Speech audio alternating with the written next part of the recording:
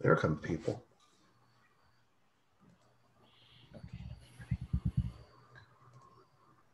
Give it about a minute for the numbers to go up a little bit. For those of you joining the room, welcome.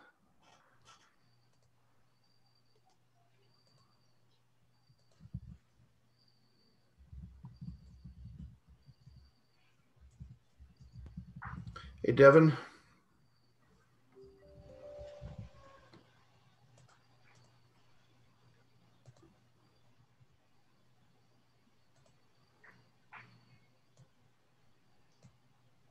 See, it's a little community here.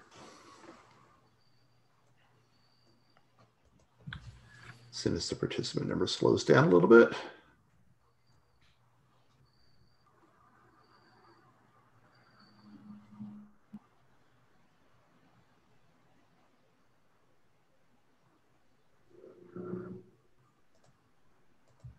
All right, we're about stable. All right, welcome to our third Sports Business Classroom CBA webinar, everybody. As you know, my name is Larry Coon. I'm the GM of Sports Business Classroom, and I am the instructor of CBA Mastery On Demand, ironically with Larry Coon. This is brought to you by CBA On Demand as well as Hall Pass Media. We have guests as usual. Um, I have with me uh, wearing the same shirt I am, Eric Pincus. Uh, he is one of the instructors at Sports Business Classroom. He is also with Bleacher Report, Basketball Insiders. Uh, you see him on NBA TV. You kind of see him everywhere. Anywhere somebody wants to talk basketball, he's more than happy to oblige. Um, he is also doing his own YouTube streams. Check it out because it gets very topical um, and very thorough with a lot of information. He's on Twitter. He's at Eric Pincus. How you doing, Eric? I'm doing quite well. I'm I'm enjoying the preseason already. I'm ready for some basketball. Let's go preseason already, isn't it? Yes. Um, also with us for the first time on these, we have Bobby Marks. You've seen him on ESPN, everywhere on ESPN. Um, he's also the former assistant general manager of the Brooklyn and one time New, New Jersey Nets. Um, and he's also been a contributor to Sports Business Classroom. How you doing, Bobby? I'm good, Larry. How are you, Eric? Good to be here. Yeah, we're doing great. This is these have been really successful. We've you know get a lot of great feedback on these. Um, we get you know a lot of great content. We can look at it more from a financial and CBA and analytical standpoint, which is which is kind of nice. So we like to get some good expertise here, and especially with your front office experience, that's really going to come in handy uh, for some of this discussion. So before we get kind of to the content, I do wanted uh, I do did want to talk a little bit about CBA mastery because that's the whole reason we're here. If you don't already know, you're not already subscribed, this is an on demand course for learning the collective bargaining agreement. It is my curriculum for learning the collective bargaining agreement. I've taught it over and over. I taught it to directly to NBA teams. I've taught it to agents. I've taught it as the GM of Sports Business Classroom multiple times, and now it's available in an on demand video format. And I even get deeper in that than I do when I, I teach it live normally. You can go to sportsbusinessclassroom.com for more details or to sign up. We will talk about it a little bit later in the show. And stay tuned because you probably figured out we will have a special offer for you guys. Uh, stay tuned for the end of the show. So um, here, here's what we're going to do. You know, each time we've done this, we've kind of been topical. Okay, they they have the agreement. Let's get on and do a webinar. We were uh, getting closer to the season. Some signings are happening. Let's do a webinar on that. Well, now the season's about to start. We're in preseason, abbreviated as it is, and we're getting going. So what I want to do is look back at some of the deals that have taken place since the previous webinar. Some of them very recent and maybe some other things that are of interest as we get closer and closer to opening day. So when we get to what I call a teachable moment, um, I'll stop and we'll talk about the rules that govern what happens. So you'll get a little bit of teaching, a little bit of commentary, a little bit of BSing between all of us. We will also take some questions at the end. Um, if you don't know, and hopefully you do, we did send out a request for questions by email. So we got all those in advance. In advance, I was able to curate them, look for the shortest ones, hint, hint. Mm-hmm. And I have a few that are, I'm already set to answer. So I'm most likely not going to do any by the chat today because I've already got a list right here. So, uh, real games, December 22nd. We are like almost there.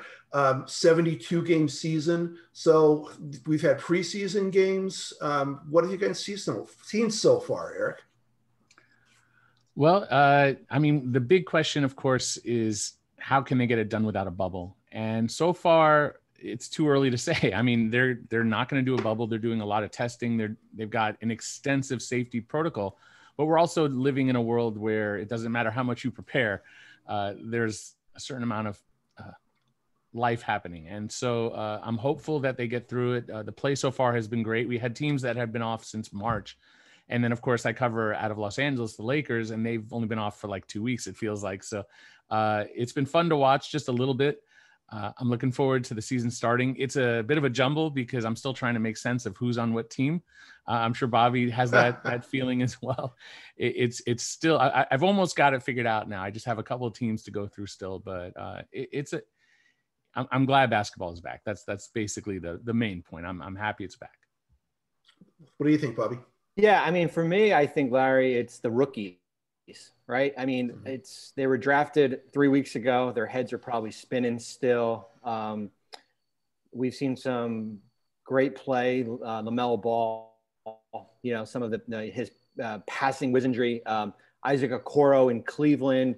Um, but I think it's going to be we're going to have to play the, the waiting game on these players because they didn't have a whole summer of training and being with the team and being in Las Vegas, July, August. This is really their October right now. Um, if we were looking at a regular season here. So um, if you look back on the 2011 draft class that came out post lockout, um, a lot of those guys fell on some hard times because of the condensed season and, and with a limited training camp. So um, for me, I think it's just keep an eye on where how what rookies kind of separate themselves, right? Maybe you'll see probably more of the uh, seasoned players, the Obi Toppin in New York, who's you know was in school for three or four years and as one of the older um, one of the older rookies here. But that for me is probably what I'm probably keeping an eye on at least for the first couple first couple weeks here. Now you have some experience with this from a front office perspective. So after you draft a player, right, he's his whole life changes in the span of you know from June until October when he's got to report to camp. And now it's just got to be worse. I mean, what what do you see the, the draft rookies going through after having just been drafted like day before yesterday, it seems like?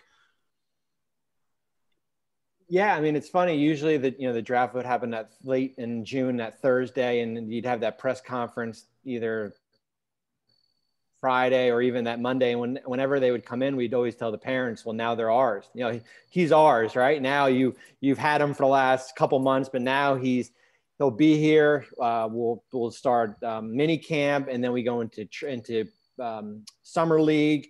Um, we'll be in you know Vegas for 10 days or 14 days. Maybe he'll have a week off and then back and uh, then he's the players there for the whole month of August, September, and then we start training camp late September, early um, early October. That is not that wasn't the case. I mean, the draft was you know mid mid November. Maybe had a day or two, and then training camp started you know 10 days later. So it's just a lot for them to digest. Then you have to also factor in all the logistical part of it, like where am I going to live? Right? Mm-hmm. I got a new city. Um, we're dealing with COVID right now, the testing protocol. Not, it's not like the player can just roll in and have a workout and go four and four. In the beginning stages, it was, um, you know, it was all individual workouts. So, do you see certain rookies being more affected by this and really being put at a disadvantage? Well, I mean, yeah. I think you already saw in Golden State with you know with James Wiseman um, that you know I think from a medical standpoint.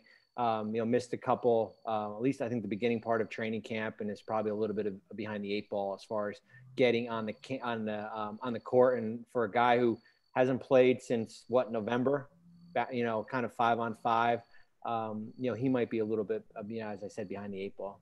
Yeah, and Eric, I wanted to ask you about a second year player. I have three words for you: Talen Horton Tucker. what's going What's going on with him? Uh, well, uh, so when when the Lakers drafted Talen Horton Tucker, uh, I had asked somebody uh, with the team, was this just a favor for Rich Paul, who is LeBron's agent, and are they just taking care? And they said uh, that they had Talen Horton Tucker as a first rounder, so hmm. they had a chance to buy a pick and get him. I think at 46 or somewhere around there. Uh, that they jumped it at, and that he was part of Klutch was part of it, but that's not the reason why they went and got that pick. They were really high on him. He had some uh, injuries, and then he had some, I guess personal issues that he was dealing with in college that set him back. And so, if you could look past that and see what he was dating back to high school and how unique he is as a shooting guard who's got like a seven foot wingspan, uh, they're really excited about him. And I had heard back in the bubble, like the coaches, especially like the assistants, were just, we have to get him on the court. We have to get him hmm. on the court. They snuck him in a little bit in the Rocket series just to get him a right. taste. And he played pretty, you know, he was composed and he's got a very uh, like a herky jerky kind of game. He's it's hard to quite um, pinpoint, but he his maturity as a player, just that his his his ability to see and not rush to go fast. He kind of he's not a fast fast player, so he's kind of he's going quickly and slow at the same time. Which if you know basketball, that's kind of the key is to move quickly but not rush. And uh, I, I have a ton of people asking me, what does this mean for the Lakers in the future? And we're not going to get into today here. I, I, plan on doing a video on it or a stream on it on YouTube. Uh, what are the rights? What, what can the Lakers do now that he'll be a free agent after the season? And uh, that gets into the restricted free agency question and Arenas rule and all of that. So I'll touch on that in the future. But uh, the Lakers are going to have to find a way to make room for this kid in their rotation. We're going to have to do a whole webinar just on the Gilbert Arenas provision, just because it takes me an hour to really explain it well. All right, so let's let's kind of move on. I do want to talk about some of the recent transactions that have happened. The one I had last is the one we should probably talk about first, but I'll still go in the order that I had them. So Paul George, right, locked in with the Clippers, a veteran extension so four new years on top of the contract, um, which is the most that they can go, $190 million. He has a player option in 2024. Now, he was at a situation where he was already a 10 year vet. So his max was already the biggest max it could be. Um, so getting him the maximum was was pretty easy but this does bring up a teachable moment and we'll see how good the control room here is getting Yes, they are. They are great as always. So I do want to talk about maximum salaries a little bit. So, you know, there, there is the most a player can make. And league wide, you know, it varies and it, it depends on your years of service. The older you are, the veterans have a higher maximum than the younger players. So it, it's always based on whatever the cap is. So if you're a player with who's a rookie up to six years of experience, your maximum is 25% of the salary cap. So $100 million cap, your max is 25 million. So now we're a little bit north of that. So the max for them is a little bit north of 25 million. Once you have seven years of experience, the max goes up to 30% of the cap. So again, it gets higher. Once you're a 10 year vet, then that's the highest the maximum can go. 10 years or more of service in the league, your maximum is 35% of the cap. Now, that's the league wide maximum. There's an exception for individual players. If you're coming off of a salary that was already higher than the maximum, you're a, a Westbrook or a uh, James Harden and you're coming off of a contract that's paying you 45, 50 million dollars, you don't have to take a significant pay cut to the maximum. You're already an above max player. So individually, a player can always sign for a 5% raise over what they made in their when they came off their previous contract, even if that's above the league-wide maximum. So we call it the league-wide maximum and the personal maximum. You get the greater of those two. Now, maximum salaries apply only to the first year of a contract or of an extension. So you can get raises after that, and raises could be five up to five percent or eight percent, depending on the kind of free agent you were. Um, so you can keep going above the maximum in the second, third, fourth year of a contract. It's just that first year of a contract or an extension that has to fit within that maximum. The other thing to be aware of is that whole threshold zero to six, seven to nine, or 10 plus. It can, there can be some exceptions to that. Certain players can qualify early for that next level maximum. For a rookie extension, certain people who's who are extending their their rookie contract so starting in their fifth year they can already qualify for that seven to nine year maximum. And for veterans you know we call it the super max although super max means a few other things. After eight or nine years and this is the Giannis situation you qualify early for the 10 year veteran maximum. Now you got to meet criteria in order to do that. They just can't throw these contracts to anybody. So you've got to have been the MVP in one of the most recent um, seasons, um, or you have to be All NBA or Defensive Player of the Year, either this past year or the two years prior to that. But those certain players, under those certain circumstances, can bump up their maximum a little bit early. And back to us. Thank you, Max. So, where do they go from here? What do the Clippers do? Because they're, I don't think they're that great of a you know there's there's, certainly a contender. I don't see them getting over the hump with the lakers certainly. And you know they've got um uh, Kawhi to contend with. You know they i've even seen people saying that they might not even keep paul george. Where do they go from here?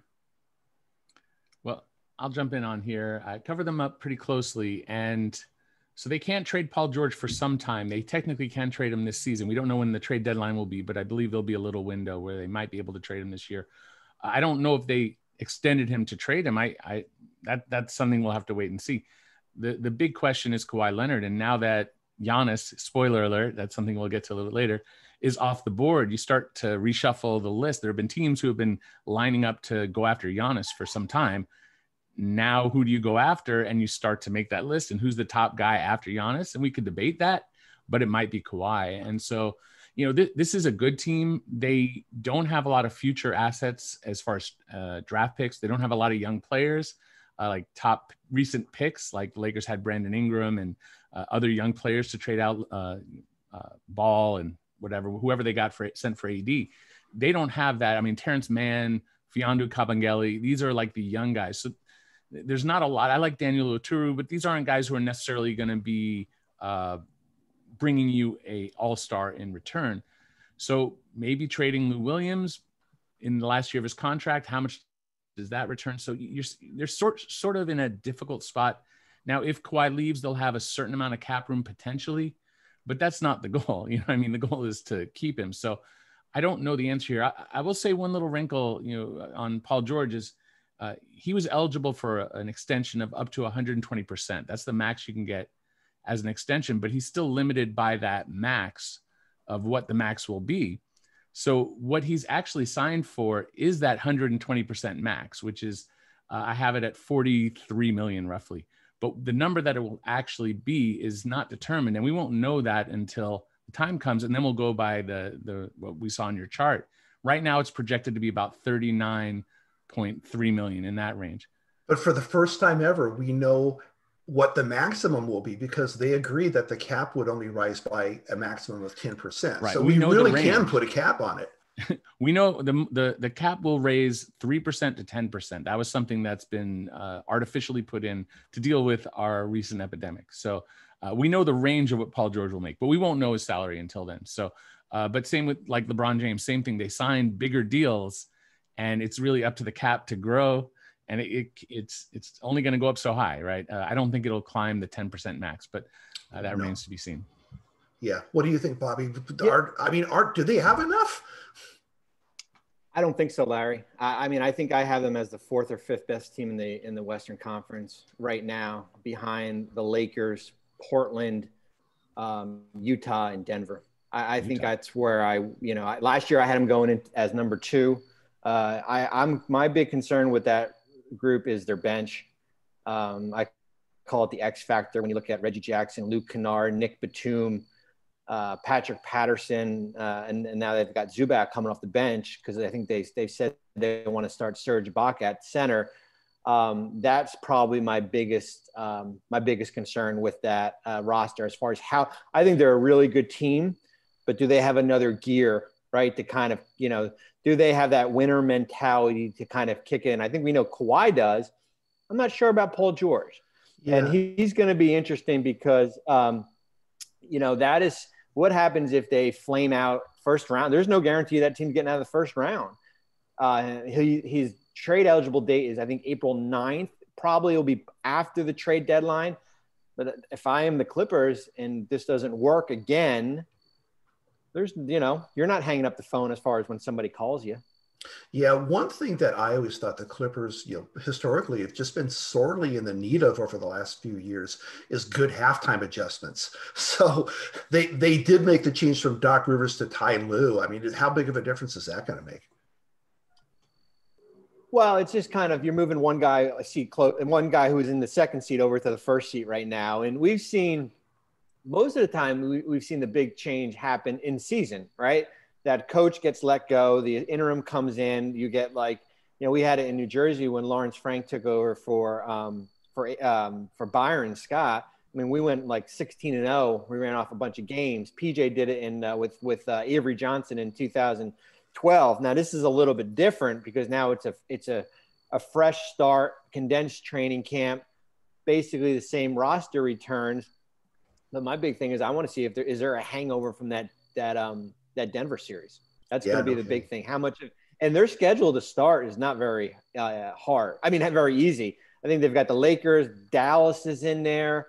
Um, so it's it's going to be in Denver too. So it's going to be a, it's going to be a challenge kind of right off the bat. Yeah, I agree. It'll be interesting to watch. Let's talk about Anthony Davis and then LeBron after that. So again, another re-signing. Uh, this time as a free agent, not as an extension. So he became a free agent and then re-signed five years, 190 million dollars. He did start at the max. So at his in his case, 32.7 million dollars. 30% of the cap. He was an eight year vet. So it wasn't the the 10 year vet max. In fact, he did have the option of signing, let's say, a two plus one deal, two years plus an option year. He would, in theory, opt out after his 10th season and then re sign at the 10 year vet max, and then he would, over the lifetime of his career, be able to make more. Of course, there's a trade off for that in that you're not locking in as much long term money as possible. Um, so, Eric, you think you, think he he made the right decision just locking it in? I'm sure. I, I do. Think, I, how can I tell somebody they made the wrong decision when they sign a 190 million dollar contract? I mean, it's nuts what are we talking about here? Uh, now you could try to maximize, and maybe he could have milked out an extra. I, I, computed it before. Maybe it was, if it was 40 million more, 36. I forget the exact number now, uh, but at the time I computed it. There, yeah, he left money on the table, but he would have had to take a shorter deal, less guaranteed money, and we're in a world with uh, uh beyond the what we're dealing with on the court, which is you know players get hurt and you have devastating injuries. But we have a worldwide crisis. Like lock in 190 million dollars. How do you not do that? I, I get like there's you can live your life where you want to get every cent that you could possibly get. And i've personally found just in my life that sometimes when you're going for every single penny that you lose out you lose sight of something and you end up hurting yourself more. So i i don't he is not going to be he's going to be taking care of his family for generations. Well deserved he's one of the best players in the league. He's you know, from my experience being around him not a ton but enough that you know i enjoy his personality. I think highly of him as a person. So i'm happy for his success. Uh, the lakers are happy to have done this. I know that they had their eye on free agency the next year and and the, the possibilities of getting maybe making a run at Giannis. Uh, but LeBron wanted his money. He got paid. Anthony Davis wanted his money, he got paid, and that took the Lakers out of that mix. How do you blame if you're the Lakers? Are you going to be crying because you've got Anthony Davis for five years and you can't also get you, you can't be so greedy in life? That's I think the the main thing. So I'm happy for Anthony Davis. It's, to me, it's the right move. Yeah, the team obviously wants to lock him in as long as possible, but that does create the potential for one of those dead money situations where you have a guy who who, you know, God forbid, does have a devastating injury, and then you're locked into money that you're really not going to recoup through performance. How big of an issue do you think that is, Bobby?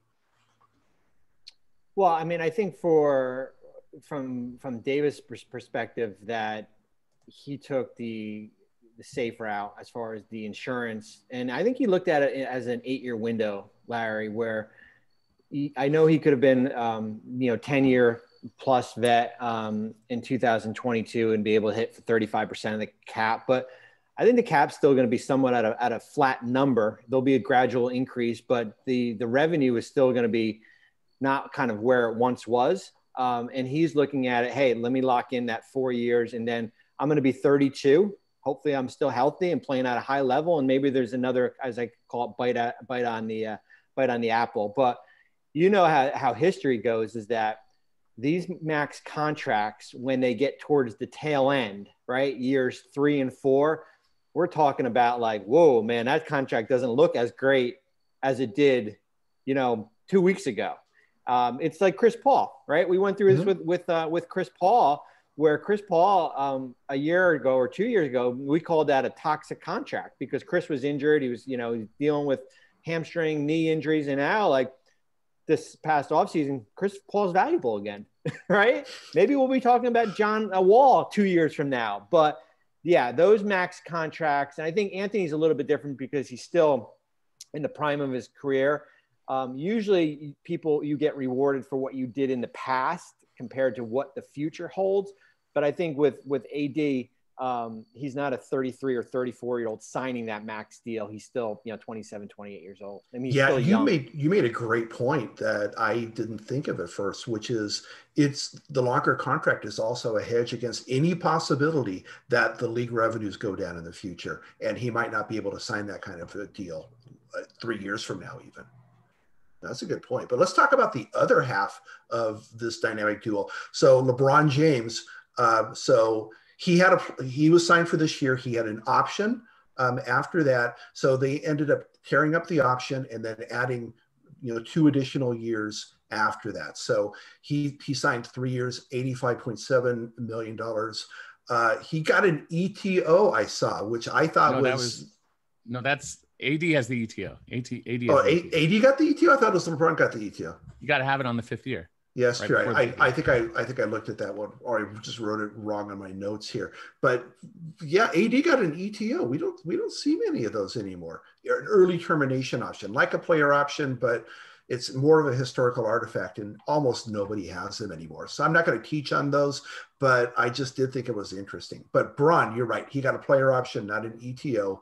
Um, now he could not sign a longer extension, even well, he could have, but it would have been of no value to him to sign a longer extension, even if he wanted to. And that's because of the over 38 rule. So let me teach on that for just a moment here, and then we'll kind of go back and, and discuss. So there is a loophole um, if you were a clever GM, you you could have thought of this way back in the past, where you have an older guy, he's valuable, you want to keep him, but he's kind of near retiring. Maybe he wants to play another three years and then he's got to retire. Okay, you're going to play three years. We'll sign you to five. It's guaranteed. You you play those three years, you retire. We're paying you for five years. We're throwing addition two years of additional money at you that no other team's going to throw at you. So come sign with us that's the kind of thing that they wanted to prevent. Uh, intentionally signing a guy just so you can keep paying him for more years after you're pretty sure the guy's going to be retired anyways. So the over 38 rule closes that loophole. And interestingly, as player health and, and everything else progresses, the, the age at which it takes effect has gotten later and later. In the last CBA, it was the over 36 rule, and a long time ago, it was the over 35 rule. So now they're saying, okay, players can normally play till 38, which is great. So what it does is if you have a longer contract, and we're talking a four year or more contract, and it's it's going to cross so that a season starts after the player's 38th birthday, then it can be considered an over 38 contract, and it's interesting spelling of deferred there. Um, the, the later seasons of the contract, they reclassify the salary as deferred salary. And that's important because deferred salary, any salary can be deferred, which just means that puts the payment schedule after May 1st of the following season. Any contract can be can have salary that's deferred. But an over 38 contract, they say these whole years are classified as deferred salary. That's important because deferred salary is charged to the salary cap in the year that it's earned, not in the year that it's paid.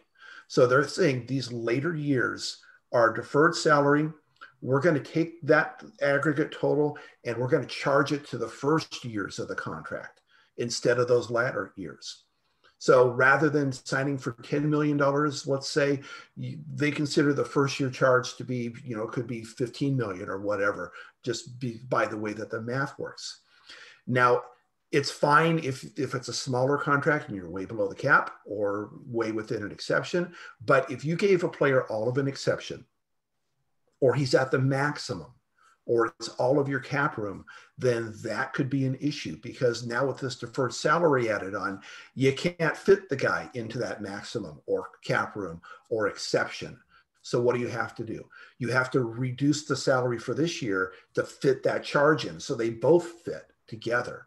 And the way the math works is pretty clever.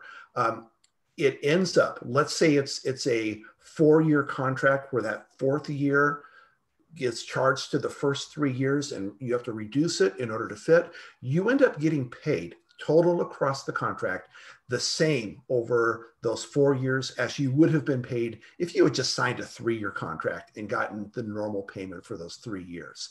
So it it doesn't eliminate. That's one of the common things that people don't realize with an over 38 contract.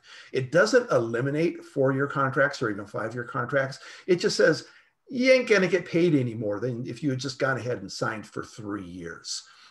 Uh, a couple of other things about that is that um, as you continue to kind of prove the assumption wrong, and, and, you do play into those later years, they do start to rebalance things. So the you don't get a zero cap amount for the fourth year or the fifth year in an over 38 contract. They start to smooth it out so you still get a cap amount for those last years. It's a pretty interesting rule, a, a pretty weird way that they ended up making it so that it removed the incentive and eliminated the loophole, but it's part of the league. And LeBron James fell under that this year. So you saw that he signed for three years. He didn't sign for any more than that.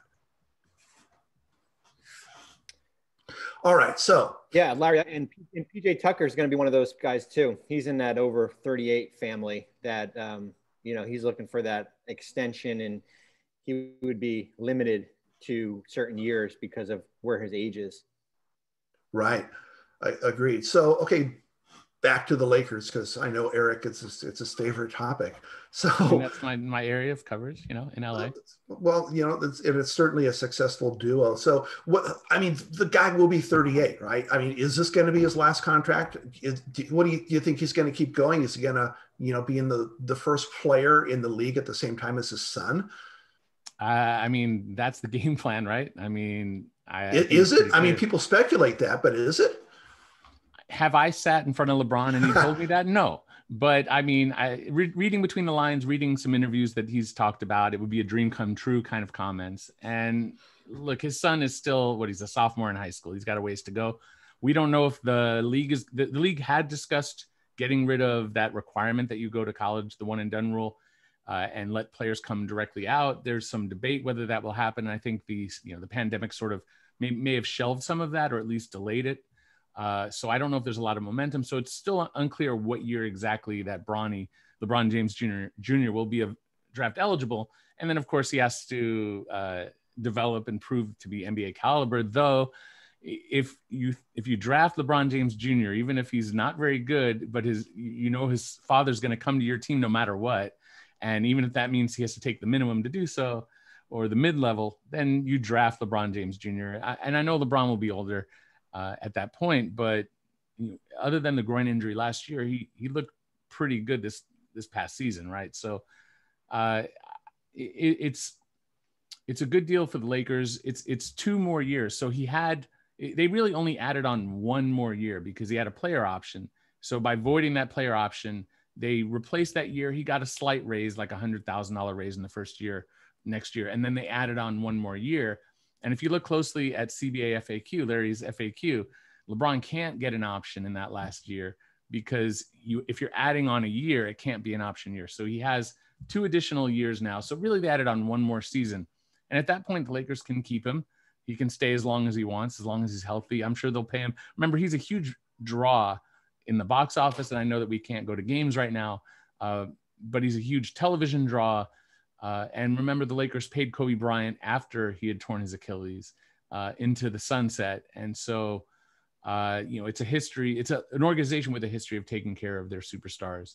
And I think in part, I don't think that's why LeBron came to the Lakers, but I think it played a part in that the way they treated Kobe out the door and how LeBron wants to be treated down the stretch of his career. That makes a lot of sense. So last night when I wrote up the notes for this webinar, you know, one of them was on Giannis and just said, "Yeah, let's talk about what what he's waiting for and what might happen." And then he goes and and and signs a super max extension. So um, if you didn't hear the news, I'm happy to be the one that break to break it to you. Um, Giannis will be in Milwaukee for the foreseeable future. He did sign one of those super max deals that I talked about. So he's locked in five years, 228 million dollars. He's got an option in that last year. So you know, I was going to ask, okay, has Milwaukee done enough to keep him, or what else do they need to do? But now let's talk about the other teams. So uh, you know, obviously Miami seemed to be one of those teams that was really lining up to try to to to get him. You know, who else do you think really lost out here, Bobby? And and what's the the what's Plan B here?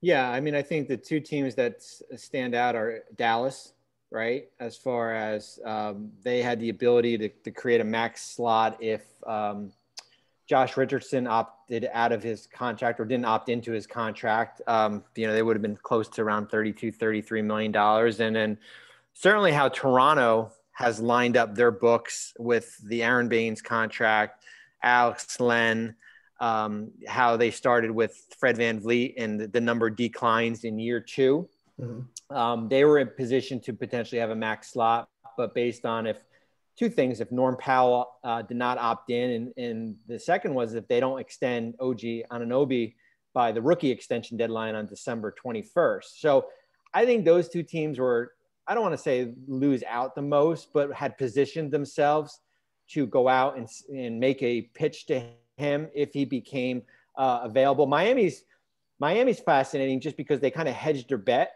with um, the, yeah. the, team options on Avery Bradley and Goran Dragic and Meyers Leonard, where like if they know that they're not going to get one of these big fishes, I would say, then maybe the option is picked up and they roll back that team. Um, and then I, I thought Miami.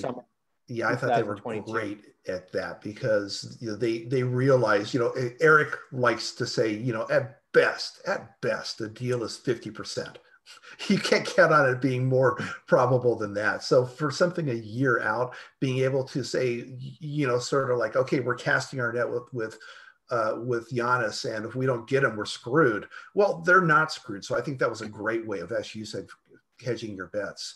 So what's Plan B, Bobby? Well, I think if you're Plan B, who's that next disgruntled All Star that becomes available from a trade standpoint? I think do any of these teams have the enough assets regarding, and we'll probably talk about James Harden. We'll see what happens with Bradley Beal um, a year from now. I don't think Beal's going anywhere for um, until next. You know, they'll make a decision next offseason. The right. free agent class for 21, Larry, is has taken a hit. it really has. With you know, certainly LeBron off the board, Giannis, um, you know, uh, Paul George, uh, the restricted free agents, Tatum, Adebayo, Mitchell, Fox. And now we're looking at, you know, does Victor Oladipo revert to his all-star form pre-injury? Um, some of the free agents have big numbers for their player options, the Blake Griffins, the Chris Pauls. Um, that's, you know, that's the, the group of guys is not as great as it once maybe was on paper. And I always said, we always had to put a uh, somewhat of an asterisk next to that, um, to that, to, to that group there. Yeah, you make a good point. In a year of maybe some financial uncertainty and and otherwise uncertainty, of, of reasonably sized player options looking a lot better than it might have looked in previous years. Let's kind of move on. Let's let's talk about we we talked about the signings and uh, extensions. Let's talk about some of the trades a little bit because there's there's a couple that um, couple deals that did happen I wanted to talk about. And Bobby already mentioned one player that I do want to explore a little bit where a deal might happen. So um, Russ Westbrook, John Wall, we had a one for one deal there. So except the Wizards had to throw in a lottery protected 2023 pick.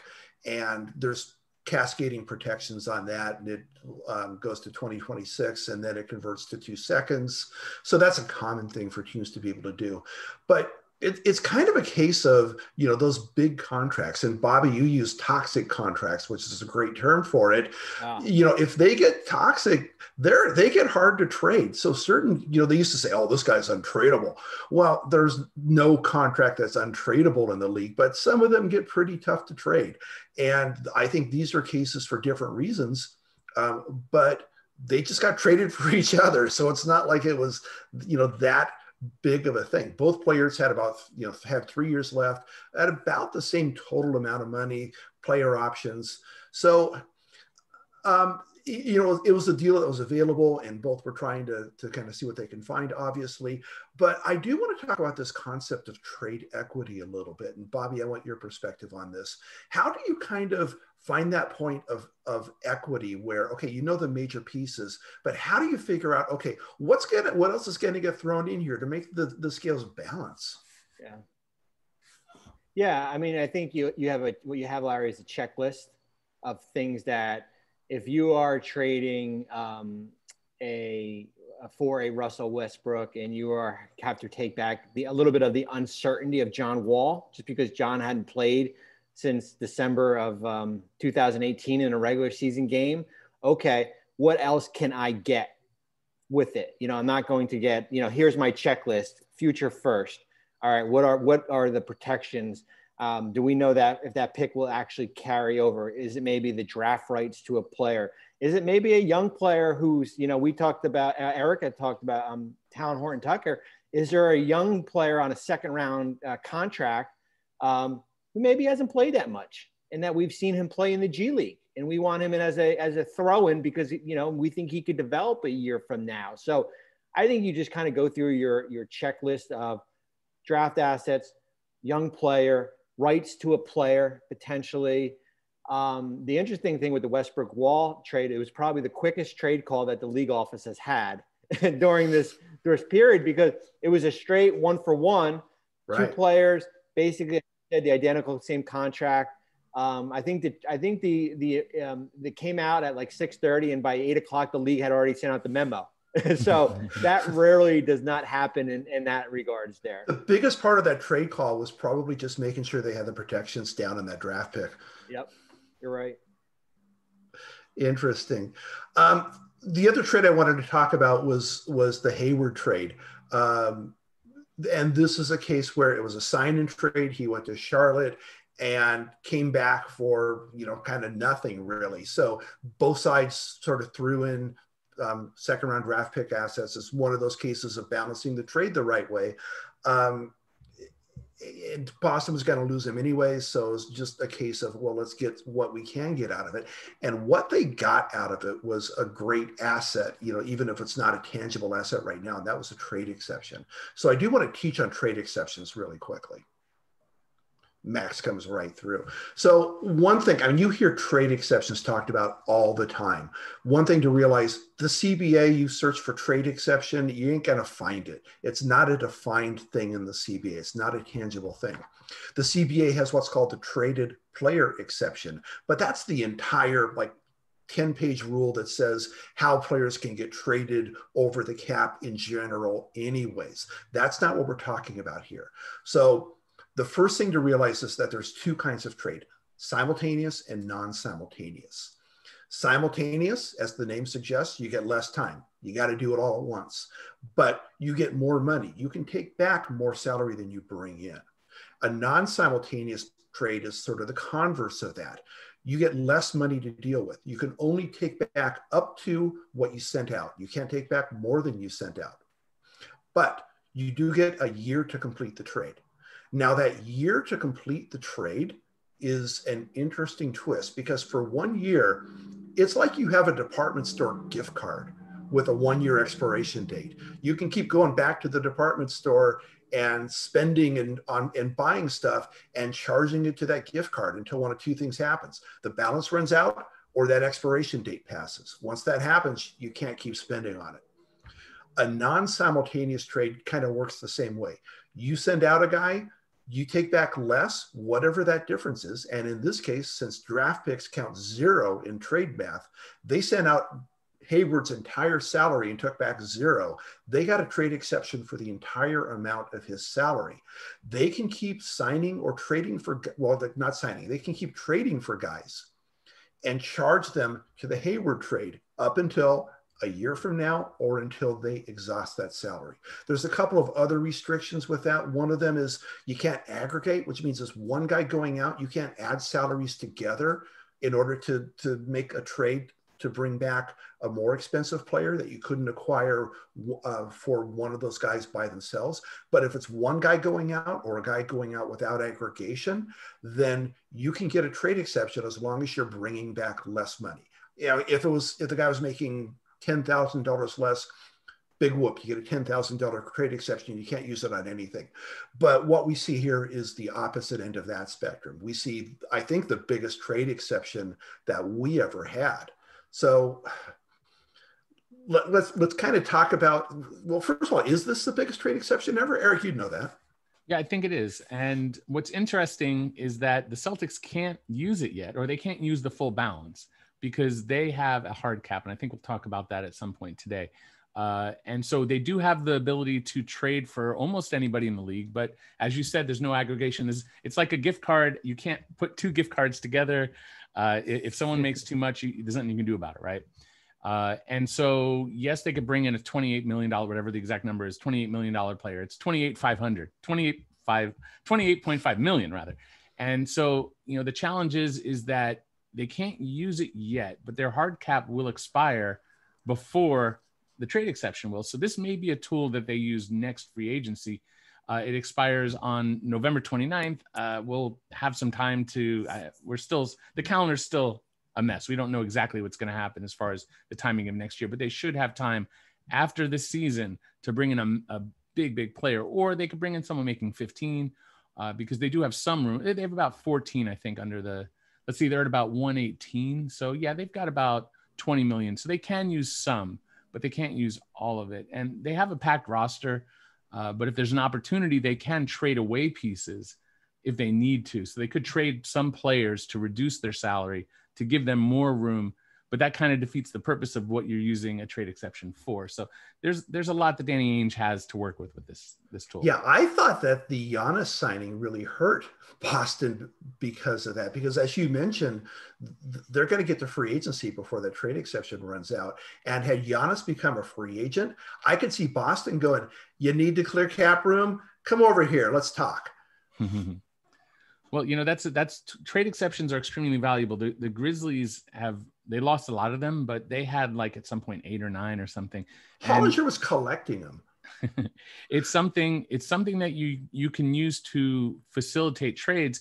And, and so you like the Hawks made they use their cap room, the Knicks, the Pistons. Some of these teams used cap room. Uh, but if you don't have cap room, you have trade exceptions. And and if we look over at Oklahoma City, they're another team that has a uh, a plethora. I don't have them in front of me, but they have a ton of trade exceptions as well. They got one. Uh, gosh, I mean, they have something for Steven Adams, which is massive. They they've done a they've played that game, and what it does is it just puts you in any conversation, and it, you don't have to be the primary team to be making. Okay, you're getting a superstar, whatever. You could be the team that's getting uh, cast offs, but those cast offs might be the the reason why you win a title, especially if you're a team like the Celtics with championship aspirations right? It's not like uh, the Pistons where they're just trying to rebuild.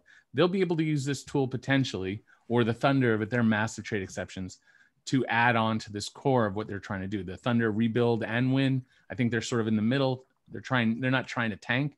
Uh, but the Celtics, they're right at the door in their mind, I think, of, of winning a title. So if there's an opportunity before the deadline, even if they're not using the full 28 million or whatever, maybe it's a $10 million player. Maybe there's someone they can add uh, around the trade deadline that pushes them over the top. Yeah. Hey, we're doing what I usually do, which is we talk more than I think we're going to talk. so, um, just really quickly, um, James Harden trade obviously hasn't happened yet. So, how likely is it he's going to get moved? Yeah, I think if it's anything, Larry, it would be probably after February 6th, uh, when that's when the, most of the free agents restrictions are lifted. Um, and that just kind of opens up the player pool. You know, March 3rd is the other date for those those free agents, those bird or early bird for 20% of their, you know, signing. Um, I don't think when you have a guy who's got three years left and you're Houston, I think eventually he does get moved, but I don't think you're you're rushed to do anything kind of right off the bat here. See where your roster is. I always said that the hunt the offseason is the honeymoon period. Everybody loves their roster until you're 10 and 10 and end of January. And if you're Brooklyn and you're struggling, or if you're Philadelphia and you're struggling, and maybe right now you only want to give up one first round pick with Ben Simmons, maybe that becomes two or three. So I think for Houston, it's kind of be a little bit of a waiting out period. Yeah, that yeah. makes a lot of sense. I, I will just say on on Houston, there, there is he, he has a long contract. Uh, James Harden does right. So this is he has two seasons. This season, then the next, and then he has an option. So they do have the time. At the same time, James Harden somehow video leaking of him at a club instead of training camp. There are ways of making it very uncomfortable. So I think there's going to be tremendous pressure to get him moved. And at the same time, they have to be strong enough to wait for the right deal. I do think Houston, based on who they are and, and their history, they, they're, they, they're no longer run by Daryl Morey. Uh, but I think the people who are now running uh, the Rockets have a lot of his, um, you know, philosophies, and I think they'll take their time. I think Bobby's right in that there's no rush, but there is that pressure. It has to be resolved, and I think it gets resolved with a trade. But it doesn't have to be in December. It can be by March or whenever April, whenever we end up with the trade deadline. Yeah. Um, I want to move on to the hard cap. I'm Max. I am going to kind of skip the teachable moment just so we can move along a little bit more uh, expeditiously. And we have talked about the hard cap before. I did it as a teachable moment last time. Just remember, if you do certain certain exceptions, certain system mechanisms are reserved only for low spending teams. If you're a high spending team, you can't use them. If you're a low spending team, you're committing to staying a low spending team, which means if you use one of those things, you can't go above a certain threshold. That threshold is called the apron and it functions as a hard cap, meaning you do certain things, you can't go anywhere above that line no matter what happens. So, Bobby, I did want to talk to you about, you know, which teams are, are affected by the hard cap this year and how, how they're affected. Yeah, I mean, we've, we've, we're at a record number. I think we're close to 20 teams that are hard cap, certainly some um, like Atlanta will not will not come close to the apron because of um, you know them acquiring Gallinari and that signing trade. But four teams to, to keep an eye on. Houston is one of them. They are only a million dollars below the the hard cap right now. They're going to have to stay at 14 players. They basically have six players competing for four for four jobs. When you look at Gerald Green and Jerian Grant, players like that, uh, the two teams in LA, the battle of the hard cap with the Clippers uh, because they used the Serge um, Ibaka on the uh, on the full mid level. They're only 538,000 below the hard cap here, so there is no wiggle room for them to sign a player until you know sometime I think maybe March or April to add a 15th player. The Lakers are at 2.5 below the hard cap. That number actually goes down about 900,000 once Quinn Cook is on that roster for the mm-hmm. regular season.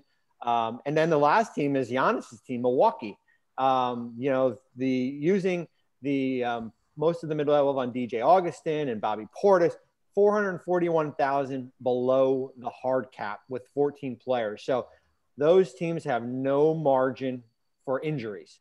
Luckily, that you'll be able to utilize two-way players this year. But yeah, this is um, this is rare. Last year we had Golden State and Miami because of the Jimmy Butler signing trade, the D'Angelo Russell signing trade, really kind of toe that hard cap. But this year we've got four, Larry.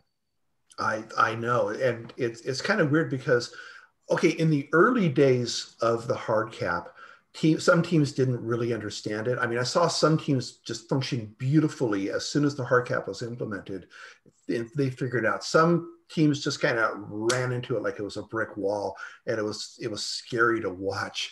Uh, you know, we we talk about well do you hard cap or do you not hard cap? And and obviously, if you're too close to it, it could be a real danger. But uh, like Eric, what you, what have you seen where a, a, that would be the deciding factor on a team doing it? It's just a compelling enough deal to be made, right?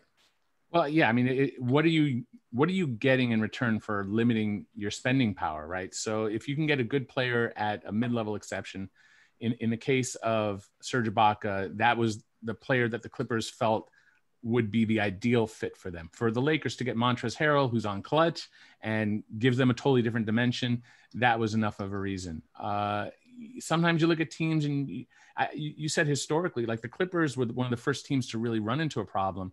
And they did a hard cap right off the bat when the rules came out and ultimately traded Jared Dudley and a first rounder because they couldn't even field a full team for training right. camp. So uh, I, I, think teams are more experienced by now. I mean, you would hope, and have a better understanding. It's really about what are you giving up. Uh, it, it, was too good of an opportunity for those particular teams, Clippers and, and Lakers, and, and obviously the you know the Bucks are doing any any move that they make that gets Giannis to sign was a good move. Of course. And every move they've ever made is now justified up to this point because Giannis is staying. So we can nitpick that they might have done it, did, messed up here or there. It doesn't matter. Um, ultimately, the hard cap is is fine. You just have to wait a little bit. For instance, if Bobby mentioned if they keep Quinn Cook, uh, and let's say they want to add Pau Gasol to finish out his career, they can't do it till February. So you wait till February. Pau's not even ready yet anyway. So uh, for the Clippers, again, same kind of thing. In the Harden trade, if it if it does happen, they're going to have to take back less salary, and it, if they do so, that's not that hard because it's hard to match a salary like James Harden's anyway. Uh, so these are just factors that good teams you would hope are prepared to deal with and are cognizant of the money. And I think for the most part, that's true. Although sometimes you look at what the teams are doing and you scratch your head and say, I don't, I don't get it. And we'll, we'll, we'll leave those unmentioned today. Yeah. So I want to start to move on and kind of wrap up the whole, you know, off season, preseason. So just to kind of see where we are now, Bobby, you don't know this, but sort of in my family, when we're sitting around the dinner table, my life, my wife likes to do a thing she calls, you know, peak and pitch. It's basically everybody around the table, just just as a conversation starter. Well, what was the peak of your day? What was the pit of your day? The best and worst things that happened to you in that day. So in in that spirit what what was the peak for you for for the preseason and the recent deals? Yeah, I really like what Portland did. I mean, I think whatever everything from getting Robert Covington in the trade to uh, bringing Carmelo back, Rodney Hood, Enes Kanter, Derrick Jones Jr. I think Larry this year depth is going to be key for a 72 game season that is condensed in what five months.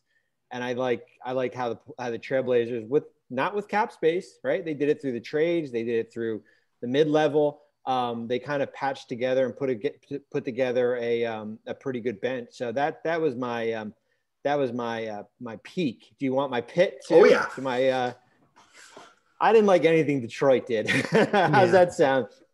From the Mason Plumlee contract, three years, twenty five. I know that third year is only partially guaranteed. Uh, Jerami Grant, three for sixty basically trading away, I think, at a minimum three second round picks and Luke Kennard to the Clippers. Um, Isaiah Stewart, getting him in the teens. I think he could have probably been in the, in the 20s there. Um, Josh Jackson for the room exception. So I think they, uh, as I said, they used, they had, it was basically, basically giving your wife the credit card to go out shopping. And they, and they used it all up in, you know, their cap space in, in 24 hours here. So I was not a fan of uh, what the Pistons did there. Yeah. What about you, Eric? Well, I mean, I think the peak is today's news that Giannis is staying, and it's not that you know I a Bucks fan or anything. I'm a fan of the game, but it's for the league itself. The the concepts that they put in to give home teams the chance to keep their stars, especially in smaller markets, is designed just for that, so that they will have their homegrown absolute MVPs stick around for longer. So it's a win for the NBA itself to have Giannis stick around in a small market uh, on a very long term deal. And it, it, there's, there's been a lot of question of whether the supermax is, is working or is it not working. In some cases, it is. In some situations, it's not. Here's a, a huge win for the NBA itself. Uh, pit, I, I, don't fully understand the the major investment in Gordon Hayward, especially subsequently stretching out the contract of Nicholas Batum, where you're functionally paying uh, Hayward 40 million a year. Or if, if you don't look at that way, you're, you've got 9 million of dead money on your books for multiple years. And I like Hayward as a player. I don't know about uh, where that team is, where he is as an age in his age bracket, and then overcoming injury, and I and I wish him well, and I hope he's able to fully return to his his heights, and that it's a success. Uh, but I don't really understand where that team is and where that investment is financially. It doesn't doesn't really add up. Yeah, so Eric, you stole my thunder for the peak. I was going to mention the the Giannis Supermax. You know, it, what a great thing for Milwaukee that they were. You know, it's a small market team able to hold on to a transcendent star like that. My pit, I think, is the current James Harden situation. That's just you know these situations don't end well. It's not good for Houston. It's it's not good for him. You know, it's going to resolve itself. Um, eventually. But you know, we have one of the great stars in the league where this is just going to continue to follow him around and be a distraction until it ends, and probably for some time after that. So that for me is my pit. So I do want to move on. Uh, Bobby, you've you've seen CBA Mastery, right? I have. Yeah. So you know, I and I want to leave some time for audience questions, but before we do, I do want to talk a little bit about CBA Mastery. And remember, I, I said there's going to be a special offer. So you're on this webinar, so I know that you're interested in the business side of basketball. And many of you, because I see this every year at Sports Business Classroom, have a goal to work in the league, be in the front office, be an agent, be be whatever. Um, or even just be a better fan. Understand, be an armchair GM, understand the business side of basketball better. So as I said, I've been teaching this for a long time. I developed the FAQ first to document it, then I developed curriculum and started teaching it all over the place. And now, uh, what I'm doing is take, I took that curriculum and we recorded an entire on demand video uh, series to teach you the CBA. So, and this is, it's currently available. It's 11 and a half hours of video content spread across 23 videos. Eric helped to review them. So I know he knows how thorough this was. Uh, they're, they're, each exercise, I mean, each video comes with exercises, quizzes, uh, you know, um, references back to the CBA. It comes with key terms defined. So you really have a self-paced curriculum that's really going to teach you the CBA at a level where you know you you walk into a front office and, and you've got this material down cold you are going to be you know in the game as far as the CBA is concerned and we also throw some more stuff in with that so there's in addition to the final exam and our certificate that yeah you've done this. Um, we have a forum for questions and discussions. Um, in addition to that, we uh, also provide access to VSL Talent, which is think of it like a LinkedIn for basketball, where employers associated with the league and around the league use VSL Talent to find people. Um, we provide um, if you sign up for CBA Mastery, we also provide access to the videos from the this year's sports business classroom. It was virtual this year. It was a huge success. We have it all on video. We provide access to those videos. So if you're interested, you go to sportsbusinessclassroom.com. You'll see information there for CBA Mastery. Click in there to sign up. And here's the special offer. Because you're here listening to us, you're here interested in, in learning more, knowing more, we're going to give you a special offer for three days. So through Friday, we're going to give you 10% off. If you want to sign up, you use the promo code XMAS10, so Christmas 10. Um, or if you're doing the payment plan, you can pay over three payments. Use the code XMAS10PP. And I'm sure Max is going to put that up there um, pretty quickly. So use one of those codes, use them by Friday night, and you will be able to get CBA Mastery for 10% off. Um, and in, again 60 hours of video content with the the, um, the curriculum for sports business classroom virtual. I mean we had me eric on there. Bobby you weren't you've been with us at cba um, at sbc in vegas but you weren't there for us um, for the virtual conference. But we did have mike d'antoni with kirk goldsberry neil olshey gillian zucker the president of the clippers. We had tommy Sheppard, the gm of Washington. We had Mark Jones from EBN, ESPN in Sacramento, Nate Duncan, who I'm sure many of you people know. So that alone is, is just great content to have. So once again, go to sportsbusinessclassroom.com, click on CBA Mastery, use code XMAS10 or XMAS10 PP for the payment plan um, if, if you want to sign up. So I do want to hit a couple of questions. We asked the audience to provide them for us ahead of time, which was great because I got a chance to review and and filter on the short ones. So I do want to hit a couple of these. I am going to switch to my glasses.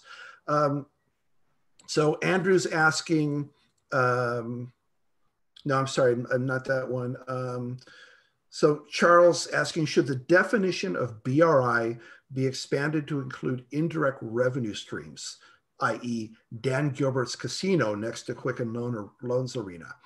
So the way that income works is that um, basketball related income includes income from what's called a related entity. And a related entity, I'll take off my glasses so I'm not showing my own screen in my eyes. Uh, a related entity is any business that is co-owned, you know, that that the the team ownership owns has at least a 50% interest in. And then the amount of interest from that revenue um, source counts as basketball related income in proportion to that amount of ownership. So the canonical case of this is a team has its own cable network and does the TV deal. Well, they sell the broadcast rights, you know, to the team for you know, I don't know, a billion dollars a year. And now the team has no income. Hey, you know, this is great from a BRI standpoint. Well, they thought of that. If you own a related business or even an unrelated business, then um, that business's income also gets gets included under certain circumstances. So, um, Charles, they already thought of that. Um, Charles also asked, would you be in favor of an amnesty provision? Uh, why wouldn't the Players Association push for one to open up dead cap space and also allowing that player to be paid and move on to a more desirable destination?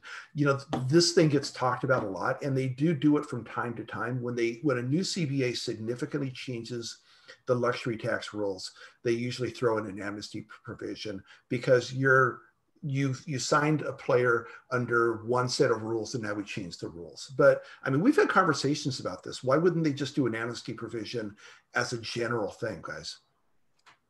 Well the, i'll say that the issue is is it's more money that's being paid out and the league isn't necessarily a fan of more money being paid out. Uh, ultimately the system works where the players in the the league they're splitting the money the bri roughly 50 50 and it's a very delicate system that could easily be thrown out of whack. And if you have a 20 million dollar 30 million dollar contract that's now being amnestied and now the team's able to spend another 30 million dollars i'm using a you know hypothetical that might throw the balance out of whack. And so ultimately the it, that's it's exactly what you described larry. It's to fix uh, a, a system wide change. And it shouldn't be something that allows teams that have more money than others to just rip up bad contracts because they made a bad mistake. Why should the team that has more money just be more willing and more able to to do that when it's maybe a team that doesn't have the same kind of income can't afford to rip up a $30 million contract, something like that, and then to spend another 30 million just because they can. Yeah, and I mean in the big picture, um, you know, the player's still going to make his money, even if he's amnestied. You know, it, it, doesn't affect the amount, the paycheck the player gets. It affects the salary cap hit. But what that means is that you're ostensibly freeing up salary cap dollars to go spend on another player. Well, when that happens, like Eric mentioned, there's an agreement. They basically split the revenue 50 50. And in fact, we can figure out how much collectively the teams make to the dime you know, across all the players. So if a player is able to get a bigger contract, it means the rest of the players in the league are going to be getting a little bit less. And it's it's the balance, like we said. So the union may not be in favor of something that's going to, you know, help one player if it hurts everybody else in the league. Do you think that that's a fair assessment, Bobby? Yeah, and I think Larry too is that there's no bad contracts really anymore, right? We went through that wave of 2016 of when the cap spiked, um, you know, things have settled. Uh, as you said, the, the amnesty was in the 2011 CBA because there was the rules had changed drastically. I mean, we used it in New Jersey on Travis Outlaw, um, but as you, we still had to pay. Uh, actually, Outlaw was actually an amnesty claim. That's probably a discussion for another day how that works. Um, but we still had to pay most of um, you know most of that uh, the salary. I think the the waive and stretch provision kind of has made kind of like the brokered a deal there where you can stretch the payment uh, over you know either three years or five years you know maybe some sometimes seven years uh, where you take less of a cap hit so that's kind of your middle ground to where that amnesty provision is that makes sense. Um, I'm going to try and move through some of these others pretty quickly. And I, I, did get your questions. If I don't get to them here on the air, I will go back and do them via email because um, number one, I think that Hall Pass committed me to that, but also you were kind enough to send me your questions. I'm going to at least do you the courtesy of making sure I answer them. Um, uh, Nate here asks, I'm going to skip to a second question. What areas would you recommend to really focus on to bring value to a front office and a G League team?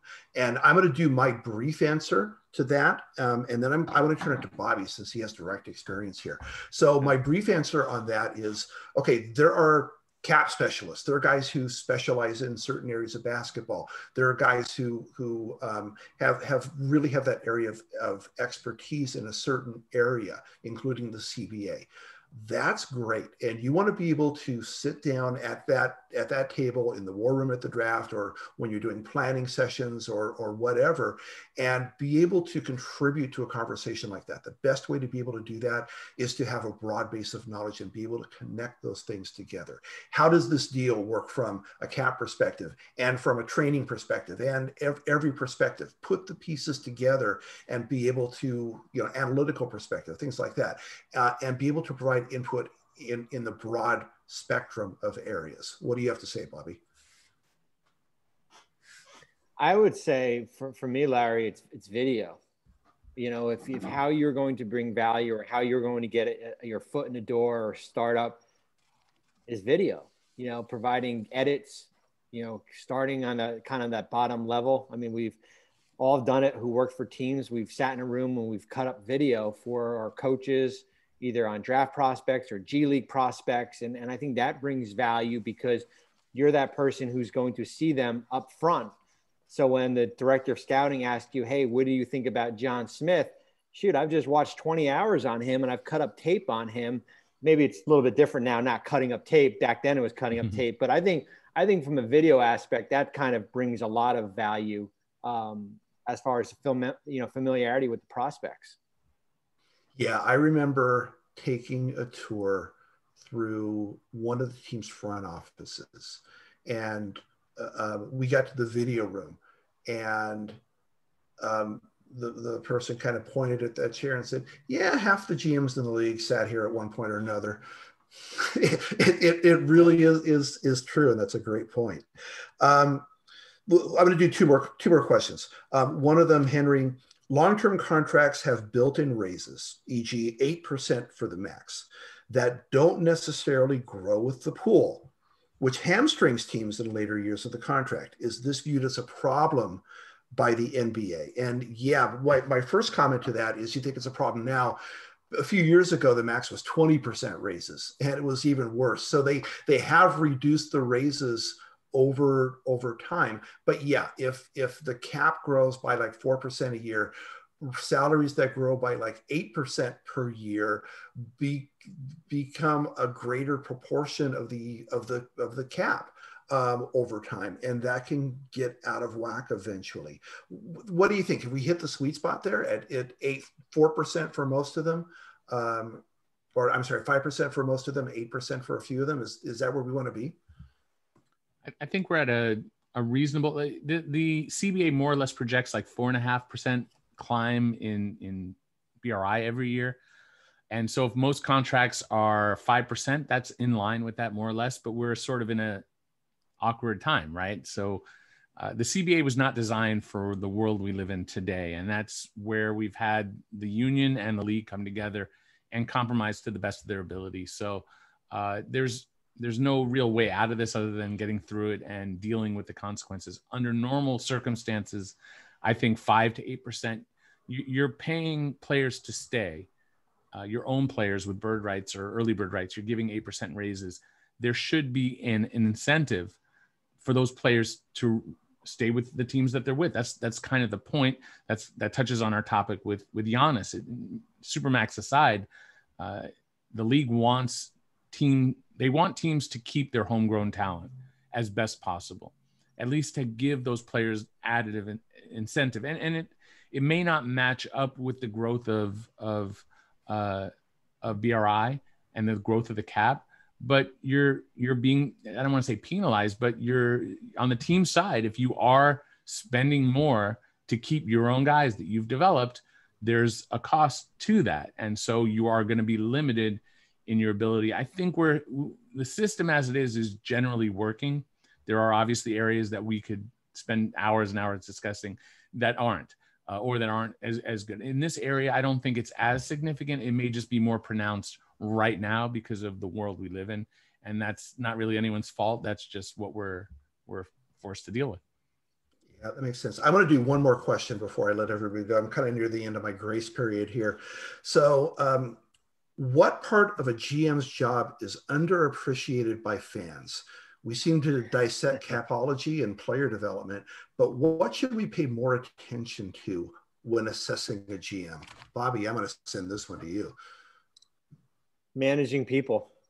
Mm-hmm. I think that's probably the biggest thing that's uh, underappreciated is that the great GMs hire people that have specialties and let them do their work. And you kind of serve as that CEO that oversees it. And you are the one who makes the final decision based on what everybody, the information that you get from the people that you hire. I think that's probably one of the things that gets probably overlooked the most. Yeah. What do you think, Eric?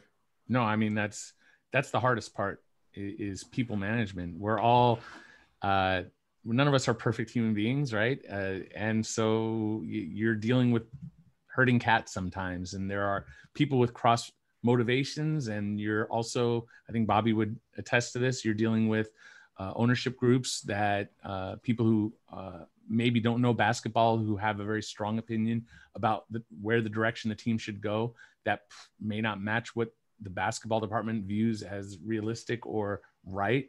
And so, yes, people management, that's not just managing down, it's managing up to uh, people who have probably made a lot of money in their lives and are are confident in their decision making and think that it translates to basketball when it it, it simply may not. Yeah, and one of the things that may not be visible to you know fans and and stuff is you know one question I've I've I've had several friends who've been you know assistant GMs or other front office people, and later on took that last step to, and became the GM. And after a period of time, I like to always ask them, so what do you know now that you didn't know then from, from, from all your previous experience? And a lot of the time, the answer comes back uh, the political nature of this position, and, and you kind of nailed it there, Eric, is, is you're dealing with ownership who has you know certain demands, and you're you're balancing a lot of factors that you wouldn't have thought that you had to, to balance, and because you're you're the one who's dealing with the ownership, um, or you're the one who's dealing with certain things that the rest of the front office isn't. That's uh, at the front of your plate and nobody else's. So that's the answer that always came back when I asked them that question. All right, so I'm going to wrap it up here since we are running a little bit behind as usual, but it's it's been a great conversation. I really appreciate it, Bobby. I hope you're going to come back because I thought it was it was great, it, um, a great dialogue here. You provide a lot of great information, Eric, as always, you know, I, I can never seem to get away from you. Whatever I seem to do, you seem to be right there. Uh, but always love the conversations. Uh, Eric will pick up the conversation on his YouTube streams. I am I am certain. When's your next one? Uh, I, I, think I need to do something on Talen Horton Tucker. Uh, if not a stream, maybe a 10 minute video to sort of explain the Arenas rule. If it can be explained in 10 minutes, uh, it might take two hours to explain it. I tried, I can't. you, you got to you got to take an hour to do the Gilbert Arenas provision justice. That's just my that that's my my rule, and I'm sticking to it. All right. So once again, remember go to sportsbusinessclassroom.com. Click on CBA Mastery to register. Use code Xmas10 if you're paying in one payment. Use Xmas10 PP if you're doing the payment plan, do it by the end of the day Friday because this offer will disappear. Uh, this webinar was brought to you by Sports Business Classroom and Hall Pass Media.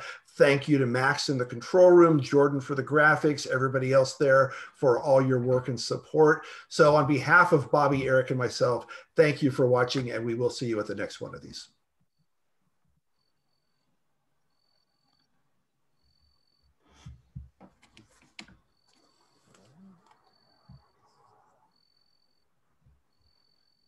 All right, guys. Well, um, I think they just drop off slowly, but thank you again. I really appreciate Thanks, it. Larry. Thought it was Thanks, really Bobby, well. always good to see you, man. Always a pleasure. Thanks, Eric. You too. Good seeing you.